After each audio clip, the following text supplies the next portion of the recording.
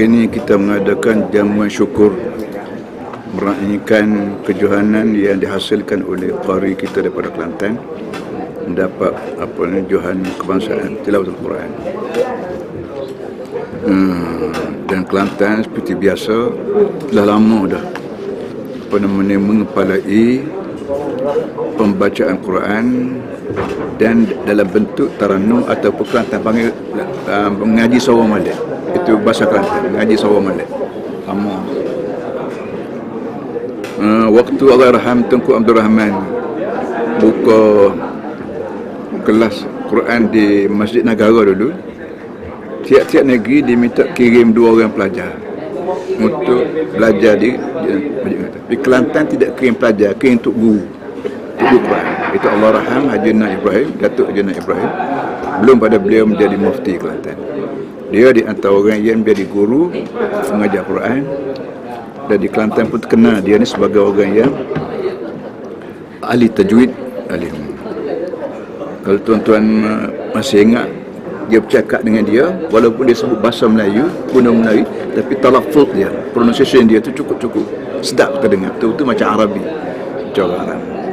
Satu yang keduanya oleh kerana tuntutan semakin ramai sama ada secara lisan ataupun secara tulis minta saya apa ni beri Qari'ah Kelantan Petani sama dekat kemasaan negeri dan kemasaan maka hari ini saya apa ni ha, hari ini saya sebut secara resmi lah. Bahawa insyaAllah tahun depan ini Kelantan akan mengirim Qari'ah sama apa ni? Kita tiru hadis Nabi SAW satu masa Nabi kita lari orang zarah kubur. Waktu Islam mula-mula timbul di dulu Nabi tak benar orang pergi zarah kubur. Kerana orang pergi zarah kubur selalunya puja kubur. Jilak kubur sembah kubur sebagainya. Dan itu haram. Tapi lama kelamaan bila apa ni tauhid semangat Islam ni dapat di, dapat dipaham sungguh-sungguh maka Nabi benarkan orang ziarah kubur kerana diyakini bahawa ziarah kubur ni untuk mengingati akhirat bukan untuk dipuja kubur tidak. Muka Kelantan ambil ambil poin itulah iaitu waktu mula-mula saya pegang Kelantan tahun 90 hari itu perbezaan lelaki-lelaki perempuan macam-macam macam tak ada. Yang pakaiannya bermugah dengan tutup apa banyak keadaan terbuka rambutnya pakaian mini skirtnya macam-macam perkara-perkara mungkar yang berlaku di Kelantan.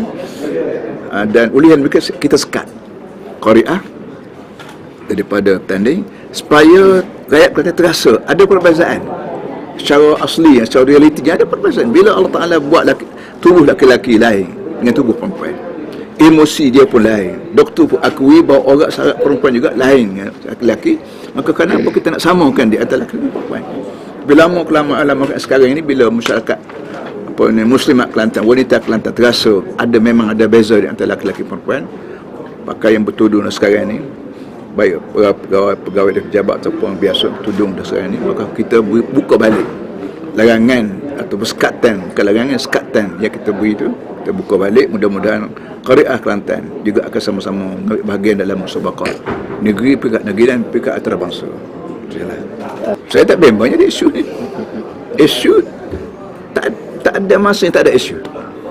Dia kalau dia kata politik memang tindakan kami tak ada yang tidak politik. Semua politik-politik politik ni perkara yang sebati dengan manusia Bukan sengaja-ngaja dia buat Sekat sahaja Ah, sekat tu sebagai pernah ada sebagaimana Nabi kita sekat orang zarah kubur pun kat awal Kat awal awal Islam. Islam. Awal Islam. Tak ada kenyataan tu guru diharam masa sebelum ni mengharamkan muslimat Sekatan, sekatan. ya. Tidak haram sekat.